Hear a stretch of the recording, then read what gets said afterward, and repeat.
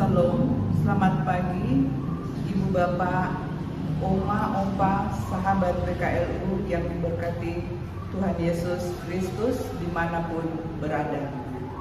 Jumpa lagi dalam program kerja Dewan PKLU yaitu saya dan PKLU GPIB membaca Alkitab bersama. Perkenalkan nama saya Marta Amoe, anggota PKLU GPIB, Jemaat Sejahtera Malang, Jawa Timur.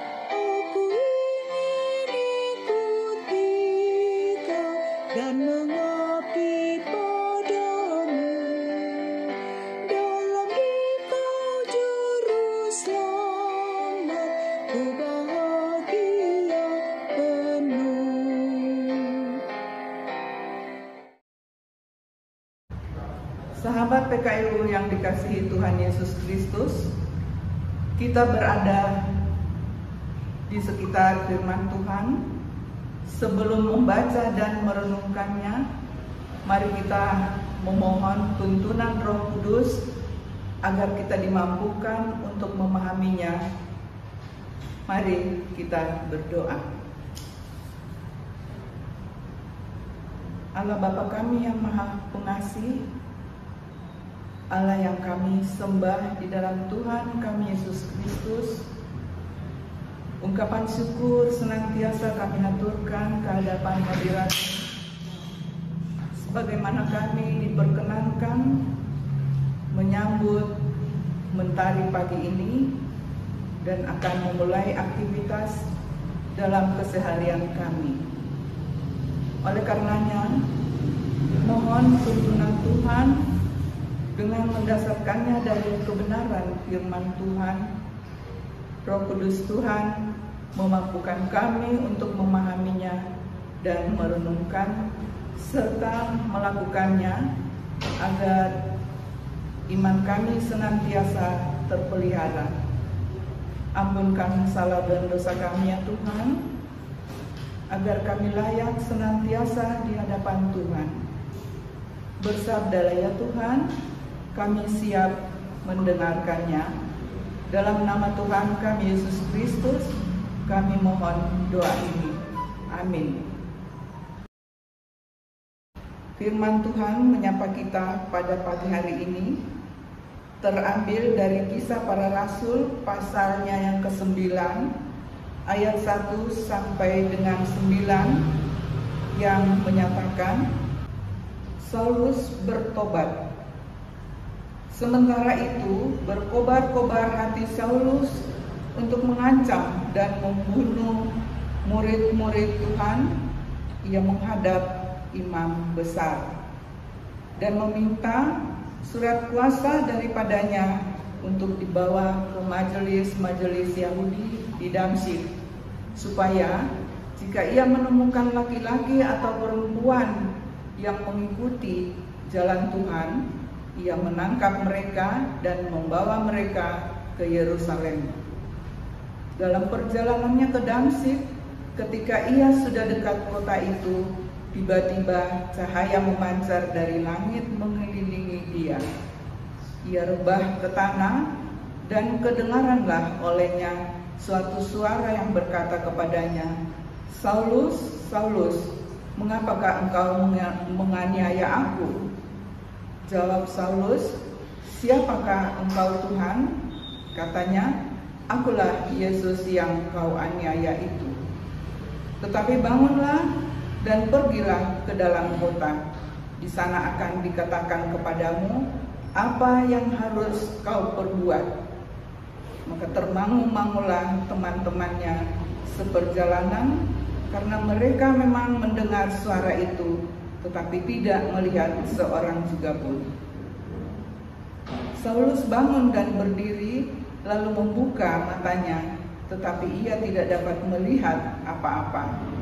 Mereka harus menuntun dia masuk ke Damsyik.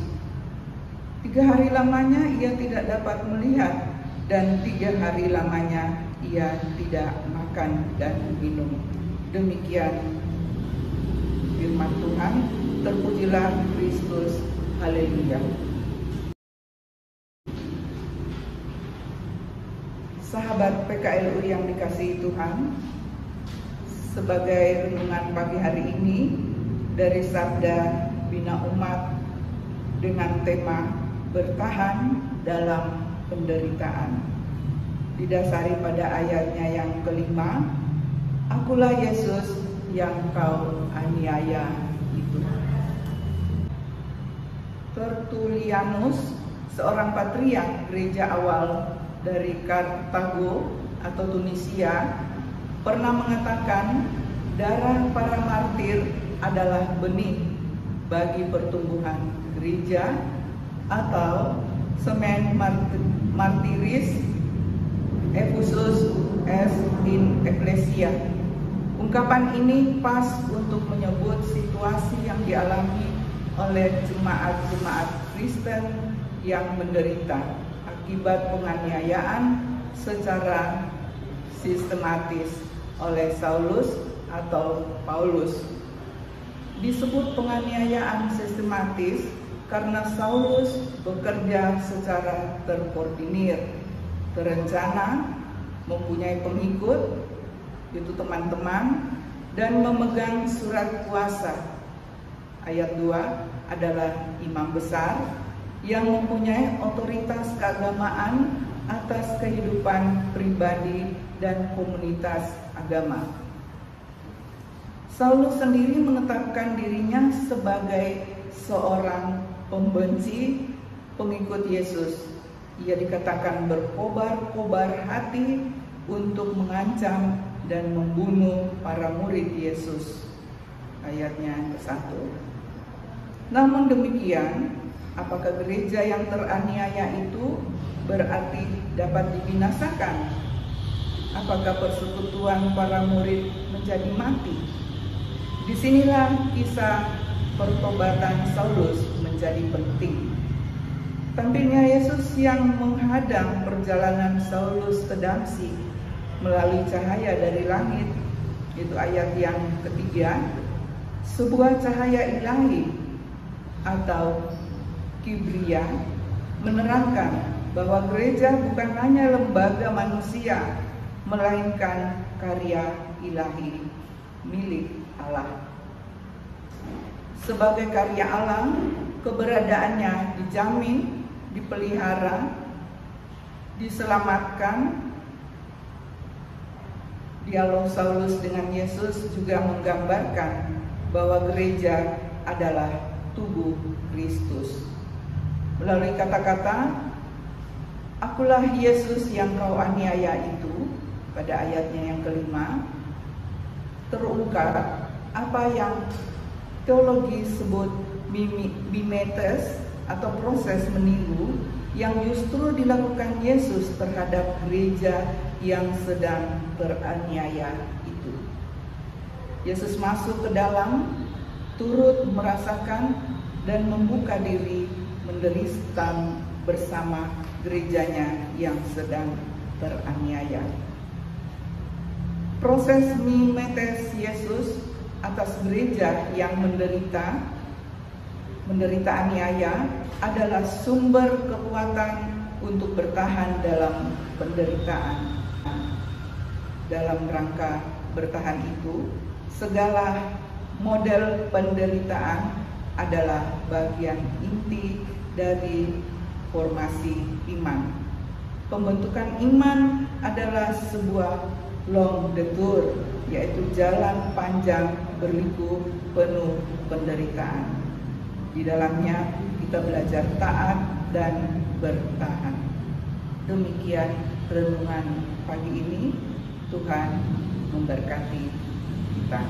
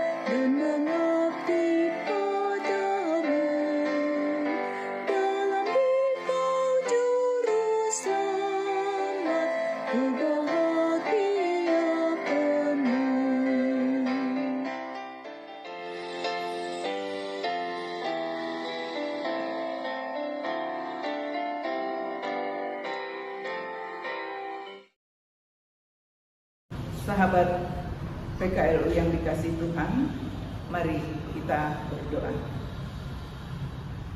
Kembali kami menghampiri hadirat Tuhan, bersyukur, berterima kasih atas firman Tuhan pagi ini. Kami boleh diingatkan untuk belajar taat dan tetap bertahan menjalani kehidupan beriman kami kepada Injil Yesus Kristus.